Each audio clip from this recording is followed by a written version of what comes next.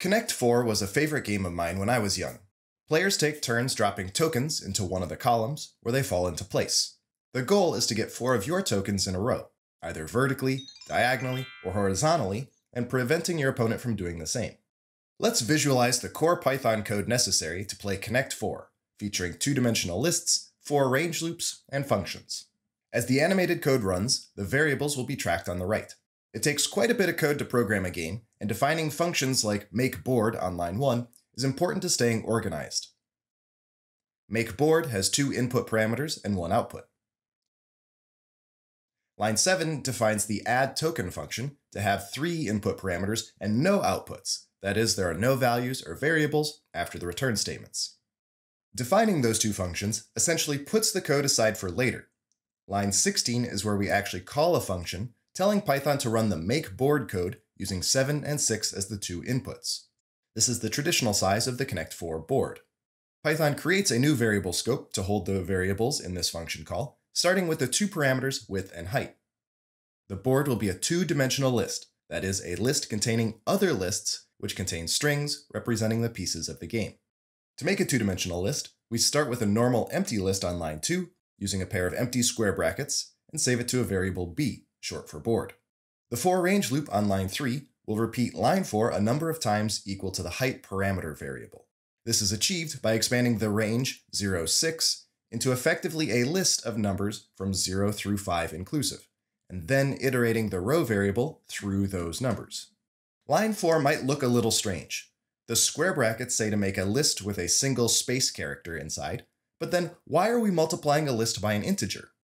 Python interprets the multiplication by 7 as repeating the contents of the list 7 times. That is, we make a full row of strings that represent no player tokens being there yet. The append method adds this new list to the existing B list, creating a new row in the two-dimensional board. Because of the for loop, line 4 repeats until all rows are added to the board list.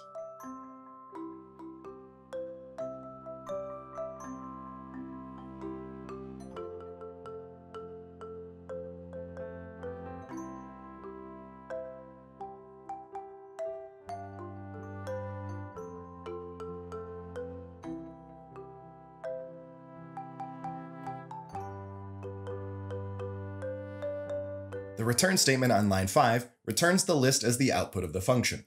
One technical note is that the contents of lists are not copied when passed out of or into functions. What is copied is something called a reference, which I visualize as an arrow to the contents of the list. This is why we briefly have two arrows to the B list. One reference is returned, and the other goes away with the other variables in the MakeBoard variable scope because the function finishes and Python frees up computer memory. This returned list reference is then stored to the game board variable because of the single equal sign on line 16. Now to add player tokens to this empty board. Remember that a token will fall in from the top and either land on the bottom of the board or some existing tokens. The code in the add token function needs to emulate that behavior. Line 17 calls the add token function to simulate the green or G player putting a token in the third column, that is column index 2 because Python lists start counting at zero. The code in the function starts after all the parameters are copied into the function. The variable col, or col, is shorthand for column. The if statement on line 8 asks if the top row of the chosen column is full. Notice this syntax has two sets of square brackets. To get an item out of a two-dimensional list, we first specify the name of the list, in this case, board. Second, the left set of square brackets select the row, in this case, the top row. Then, the right set of square brackets retrieves a specific item out of that row, using the integer 2 in the col variable as the index. The condition evaluates to false because the column is not full, so Python skips line 9 and moves on to the for loop on line 10, which will try to drop the player's tokens onto other tokens by repeating lines 11 through 13. Before expanding the range, Python evaluates this inner len function to count how many rows are in the board. There are currently six rows, but this function will work for any positive number of rows. Notice the range starts at 1 because we already checked if row 0 was full on line 8. The condition on line 11 is checking for a non-empty cell. the leftmost brackets are evaluated first, followed by the rightmost brackets. Put another way, two-dimensional lists are accessed by row first, then by column. I remember this row, then column order because I was a fan of remote control, or RC toys, when I was growing up. RC, row column. Anyway, we the humans know that the board is empty, so there are no tokens to land on top of, thus we can fast forward to the end of the loop.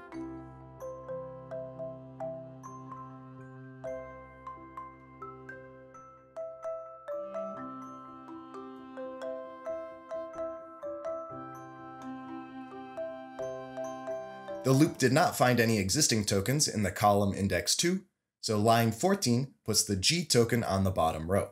The single equal sign operator takes the player variable from the right and saves it to the row and column of the two-dimensional board list on the left. Notice the row variable still has the last value from the range, a 5, which is the index of the bottom row. Python has reached the end of the function. There's not an explicit return statement, but Python pretends there is one, and the function completes with no output value to return. When the blue or B player places their token in column index 4, the code plays out very similarly.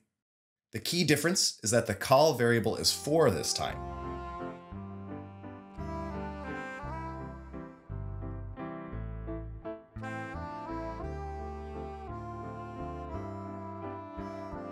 The range expands to the same thing as before because the number of rows in the board has not changed.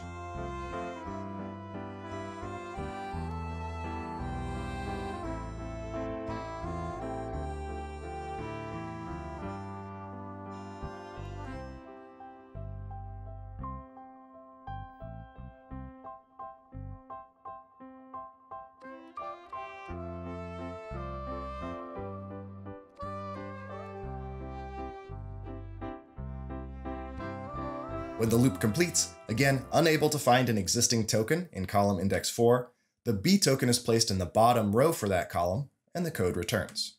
Now the green player places a second token in column index 2. The if statement on line 8 is still false, because the entire column is not full. The first four iterations of the for range loop have line 11 also be false, because there are no tokens in the top five rows.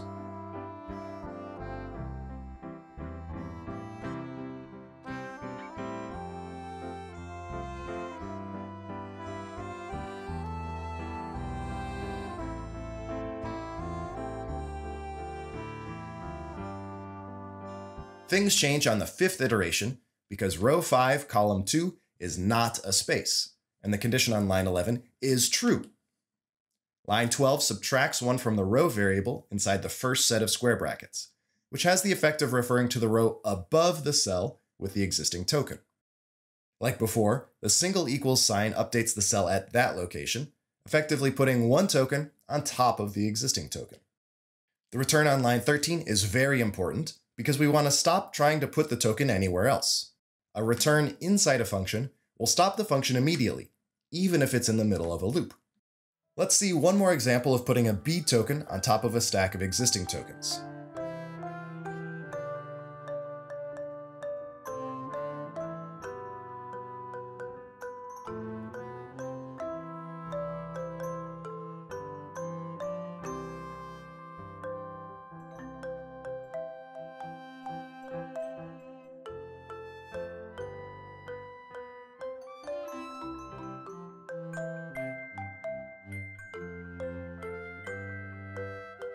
When the for loop and conditional identify that row 4, column 2 has a token, line 12 puts the token in row 3, column 2.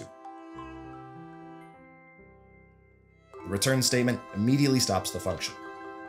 To help explain the functions which try to find a winner, imagine several more turns progress.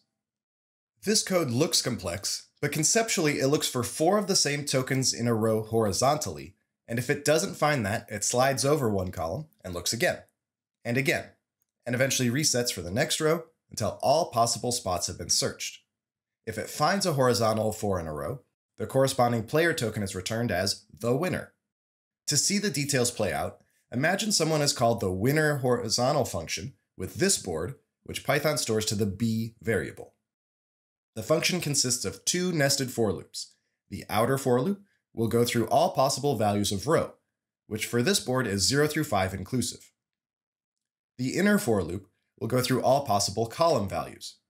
We have seven total columns, but we'll skip checking the last three columns for a reason I will come back to later. Columns 0 through 3 inclusive will be sufficient. The if statement on line 24 checks if the item corresponding to the row and col variables is a space. Because that item is a space, we know the player does not have a 4 in a row horizontally here. Thus, the code uses a continue statement to tell the inner col loop to skip to the next value, effectively shifting the search area one square to the right.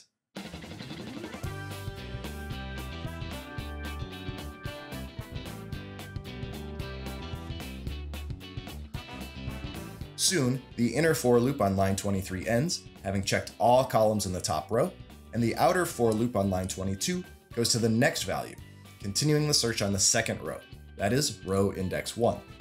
Python restarts the inner for loop on line 23, even recomputing the length of the row before expanding the range. We, the humans, know that the board is a rectangle, but Python cannot know that without measuring. We, the humans, can also see that row index 1 is empty, so let's fast forward the animation until we get to something interesting in row index 2.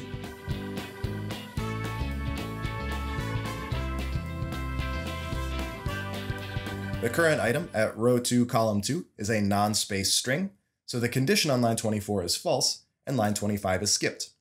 Line 26 has another if statement with a multi-part condition spread across multiple lines using these parentheses. The only code inside the if statement is line 29. Lines 26, 27, and 28 are just the questions the if statement is asking. Python first evaluates the question on line 26 which asks if the current item at row 2 col 2 is the same as the item next to it at row 2 col 3, using the double equals operator to do this comparison. These happen to be the same, so the first part of the condition is true. The AND at the end of line 26 will join this true with the question from line 27, which compares the current item to the item two positions to the right at row 2 col 4. These are not the same, so the double equals operator evaluates to false. Python now does a clever optimization. Because this condition is a chain of questions joined by AND operators, and a single link in the AND chain is false, the whole condition is known to be false. The optimization of skipping questions like this is called short circuit evaluation and is useful for writing concise code. Anyway, the condition being false means Python skips line 29, so it goes back up and advances the col loop variable.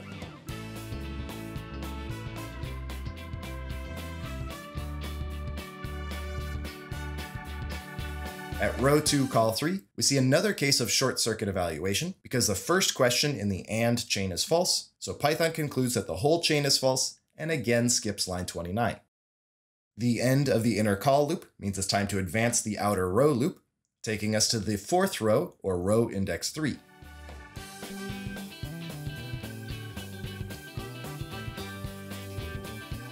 After using continue to skip the first column, Python now gets to row 3, col 1, where we, the humans, can see a 4 in a row.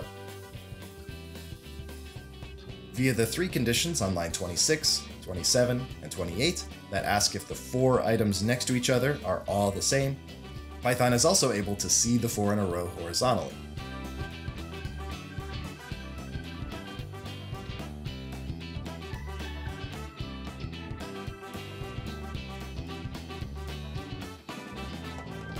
Because the if statement on line 26 is true, line 29 runs, which returns the current item at row 3, col 1, corresponding to the player who won.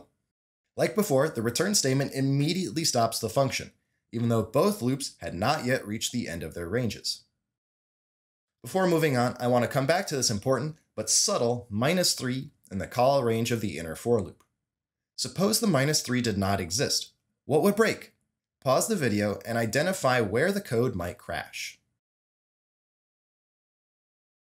Conceptually, the inner loop slides a window of four horizontal cells across the board and asks if they are all the same.